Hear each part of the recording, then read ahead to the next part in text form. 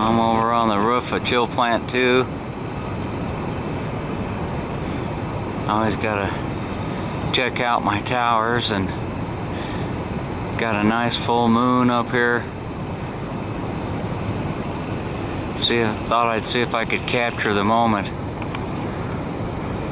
We got the moon on one side and we got what's starting to be one of those really nice sunrises on the other. This is what I was hoping for the other day when I was up in the mountains trying to capture that early morning. I just love sunrise and sunset. The sky is on fire.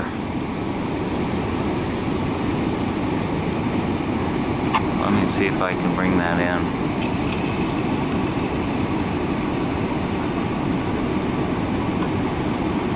Oh yeah. Oh yeah.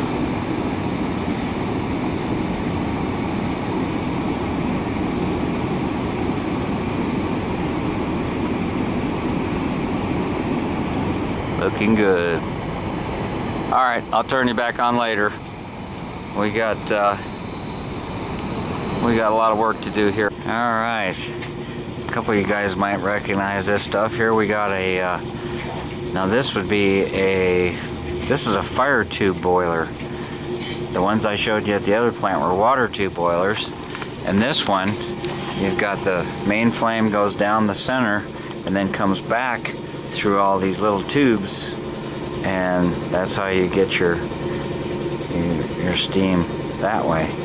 So I'll give you a, give you a look at both of them. They're putting new tubes in this one. This one's uh, done this is an old Kewanee boiler okay here's a nameplate maximum working pressure 15 pounds steam that'd be low pressure looking for the date hey bro do you know how old this thing is It's got to be 30, 40 years old. Yeah. So here's the old tubes that they pulled out. Somebody will get a little Christmas money maybe for scrapping these babies out. And just cut them out with a torch. And then they're gonna put these new tubes in. And to seal the end, they got a special tool that rolls it.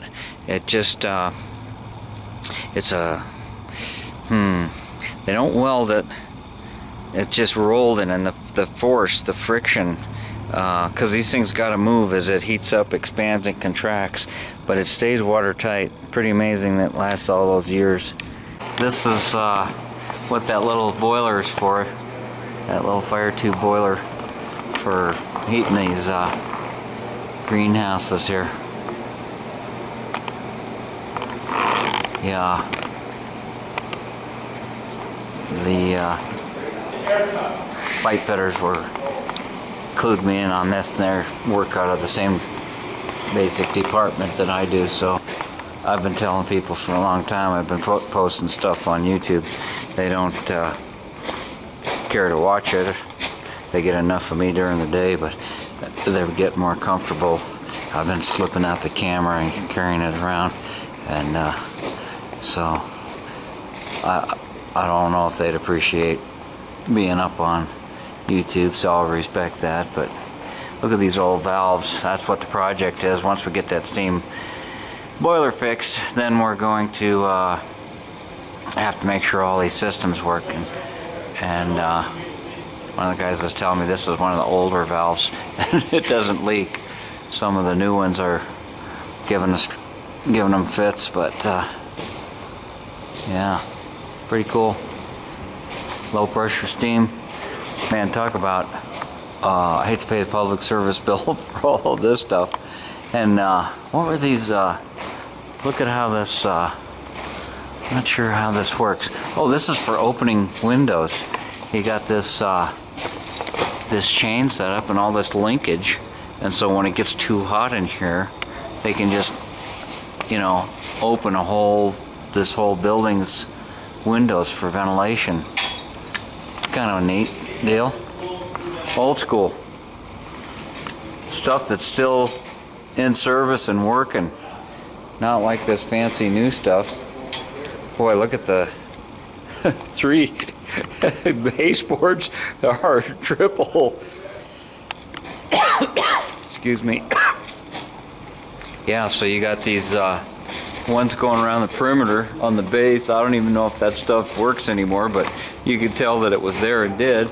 And then later on, maybe in addition to or instead of, I'm not sure, they put these uh, hanging units in there.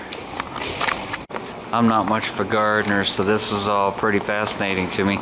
The, you got these uh, big fans in the walls to get uh, ventilation, I guess. And uh, here's something that's kind of interesting. Let me uh, let me get the whole shot here. Get back far enough.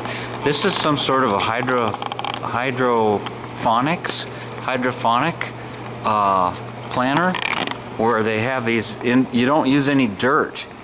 They've taken these pipes. This looks like it's homemade, but I, I don't care. This is cool. Uh, so you, you, get your little uh, oh, what do they call it? A little pot, a little plant clay pot or something. I don't know. And they have small ones, and it fits in these pipes. And then they have a uh, reservoir that sits down here, and they just keep uh, cycling. So the roots are never in dirt, and they they do their thing, and they add uh, chemicals, nutrients, fertilizers to the water. Hydroponics. Am I saying that right? Maybe.